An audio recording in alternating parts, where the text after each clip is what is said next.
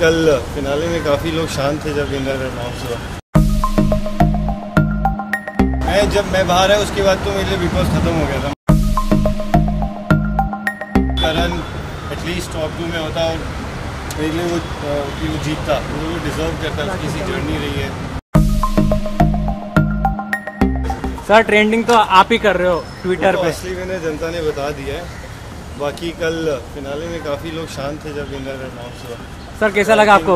Silence says it all sir लेकिन Twitter पे जो चल रहा था ट्रेंडिंग तो आप ही कर रहे हो। अभी भी अभी भी वो तो ट्रेंड लोगों का प्यार है जिस रूप से।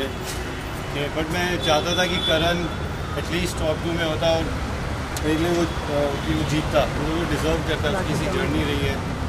उसने खुद खेला है हमेशा और यू नो किसी के भरोसे रह के गेम नहीं खेली है ना जैसा उसको ठीक लगा।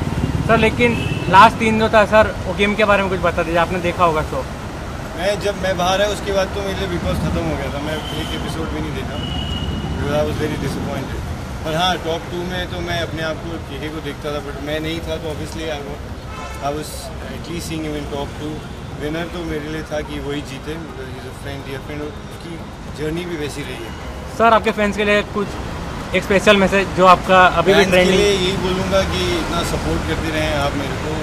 मेरी जर्नी इसीलिए स्पेशल हुई है because of all the support I receive from them I am just thankful and bless all I can say और सर अभी हाल ही में भी हाल ही में भी आसिम भाई का भी जो सॉन्ग भी अभी आया हाँ, आ गया दूर हुआ अच्छा उनके बारे में कुछ बता दीजिए गाना बहुत ही प्यारा बिल्कुल अलग जॉनर में निकाला है उसने नॉर्मली बहुत थोड़ा एग्रेसिव रैप करता है यू नो स्टोरी टेलिंग ये वाला बहुत ही काम वाइब है यू नो आप गाड़ी में बैठ के यू कैन क्रूज और ये गाना सुन सकते हो। बहुत चिल सॉन्ग है वाइब बहुत अच्छा है बहुत मेहनत की है चाहूँगा कि जो भी मेरे फैंस हैं वो रील्स बनाए इस पे और यूट्यूब पे चेक करें इस गाने को।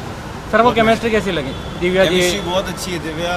Divya is a dear friend और बहुत अच्छी केमिस्ट्री उनकी दिखी है इस गाने में। एंड आई विश की आगे भी वो लोग काम करें वैसी success thank you sir sir थोड़े